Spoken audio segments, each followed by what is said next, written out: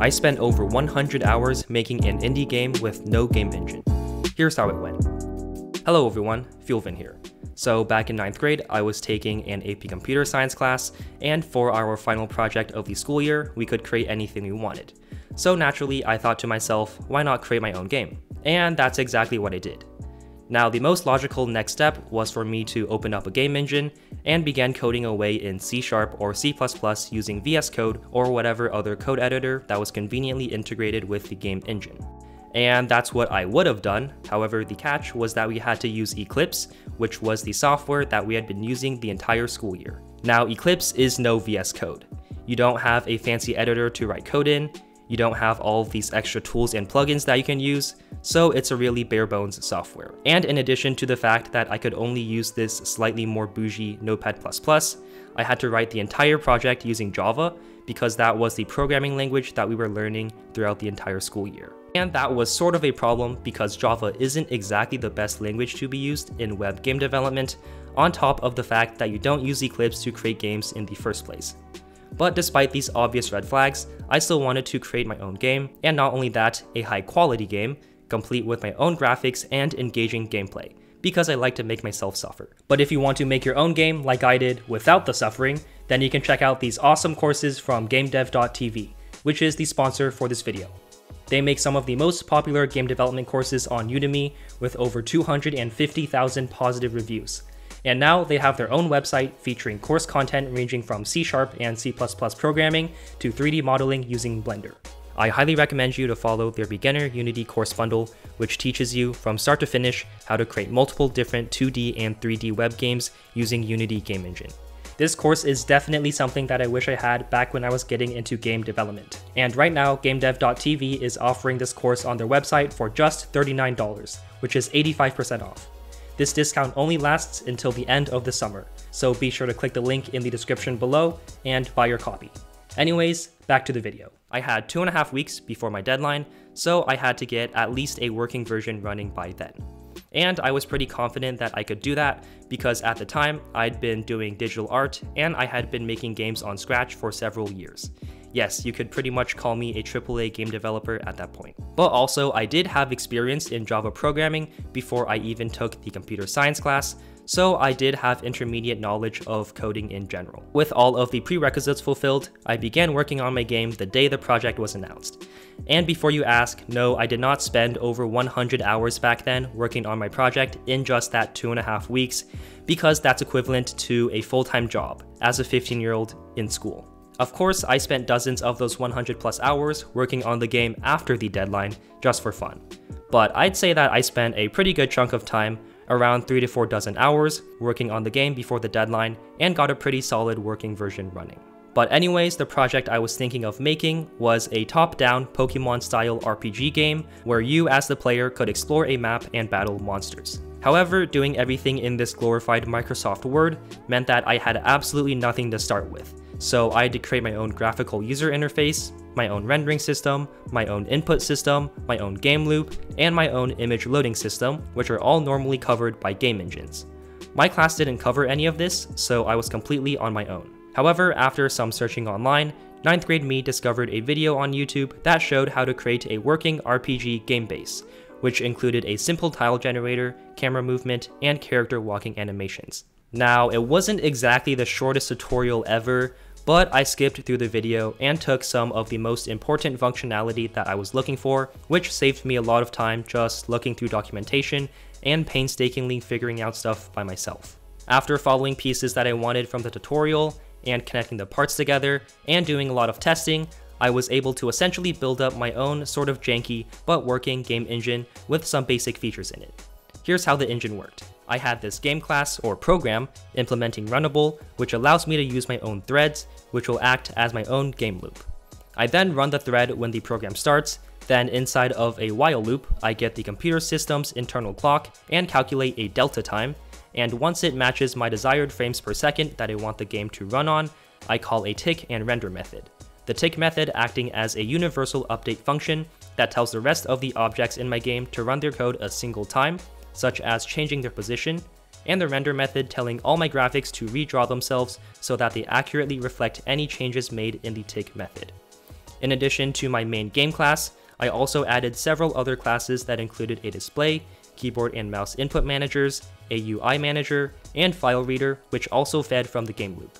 So now with all of these implementations, whenever I ran the game, I had an empty screen that was able to handle game logic, take in user input, and render images.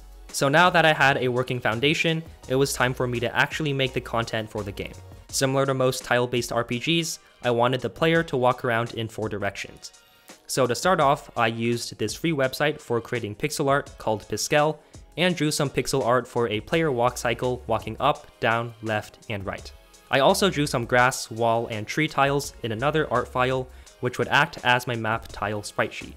After drawing the sprites, I then exported them to PNG files and put the files into my project folder. As expected, Eclipse did not have any fancy integration for images, so I had to write my own class to first retrieve and read the PNG files in my project, and create a function for cropping the individual images from each sprite sheet, which wasn't too much code I guess. To crop each image, I needed the starting X and Y position of the area I wanted to crop, and also the width and the height of the area. After that, I stored each image to its own variable, and boom, I could access the images inside of the code whenever and wherever I wanted. This would have still been a lot easier with say Unity Game Engine, where downloading the image would have taken longer than adding it into the game. But anyways, with the player and map sprite sheets all loaded in, and with a bit of additional code, I was able to have animated player movement and a moving map similar to the demo project in the video. After I had those features down, the video wasn't able to help me anymore, despite it being almost as long as the entire season of Death Note. So everything else was up to me to figure out how I wanted to implement the rest of the game. Now the first thing I wanted to add was collidable tiles, because what is an RPG game without wall collision? Now I didn't have much trouble making the player collide with the tiles, but making it seamless and glitch free was very difficult and time consuming, which at the time was a surprise to me. With my present knowledge, I know that even with actual game engines which provide built-in collision systems, having flawless collisions typically require you to write additional code in your program and do some tinkering, because usually the built-in collisions don't always work exactly how you want them to. I learned this lesson early on, with this project being one of the first real games that I've ever coded, and oh boy was this part frustrating. I had no default collision framework I could work with like in game engines, so I had to code exactly how I wanted the collision to work by myself. Unfortunately, it wasn't as simple as writing in the player script, move, then check if touching a collision tile, then stop moving. There was a lot of bugs that appeared related to collisions that I had to account for in my code. For example, there would be a few pixels gap between the player and the tile it collided with, which looked wonky, or the player would get stuck to the tile after colliding, or the player would twitch back and forth when touching the tile, or the player would clip into the tile after colliding and teleport to the other side. I didn't feel like a teleportation feature aligned with the content of my game that well, so I spent a lot of time and effort trying to fix these problems. For the collisions, I knew that I needed to account for the player's hitbox and position, the tile's hitbox and position, and the amount that the player was going to move. The rest was up to a lot of trial and error and bug fixing. I managed to scrape together this chunk of code for my collision, and honestly, I can't even tell you how I managed to come up with this, especially because I wrote this 4 years ago, but it works, and based off all my playtesting, it seems to work bug-free, which I'm quite proud of.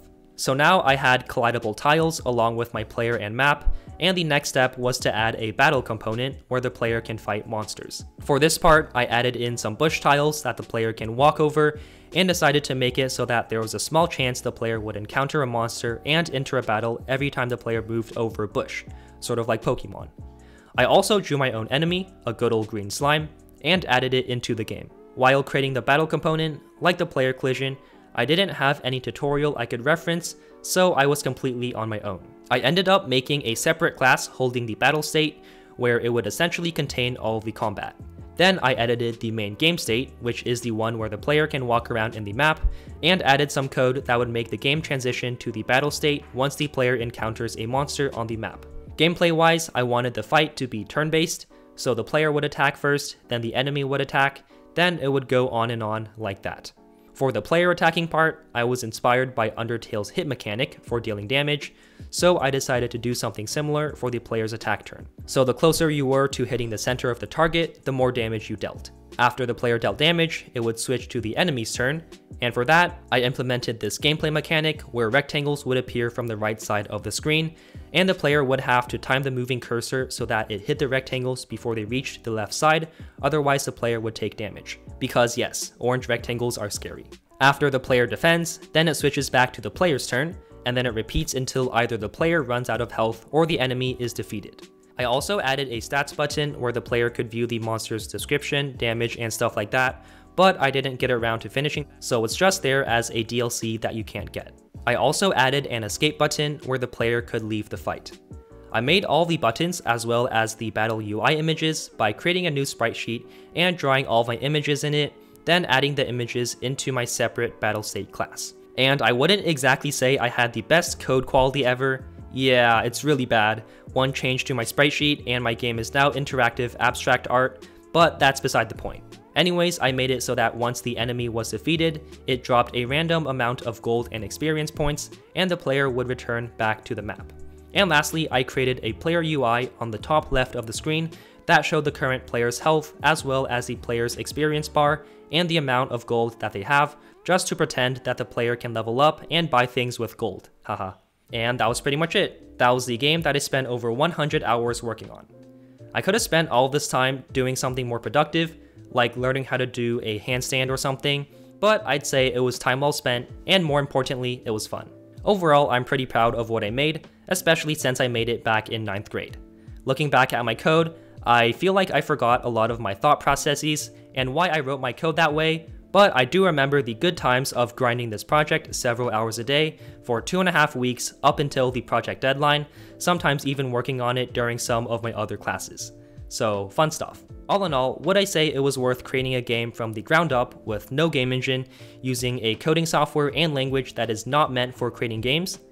Well, the short answer is if my purpose was result oriented and my goal was to create a fully fledged game, I would have been better off submitting a smaller scale project to my CS class and dedicating my time towards using a game engine where they're actually suited for building games. In the same amount of time that I spent creating the game using Eclipse, I could have created the same game using, say, Unity Game Engine, and could have even added more features to it.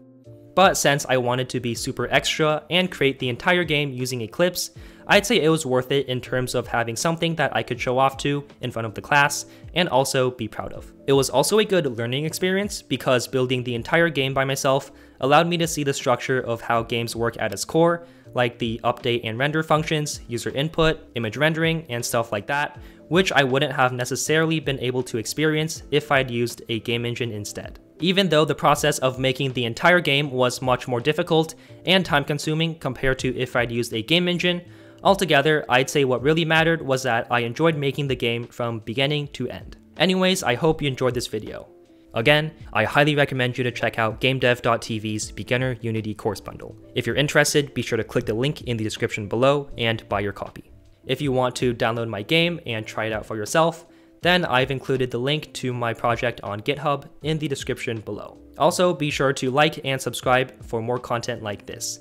And while you're at it, join my Discord, link is in the description below. Anyways, that's it for this video. See ya!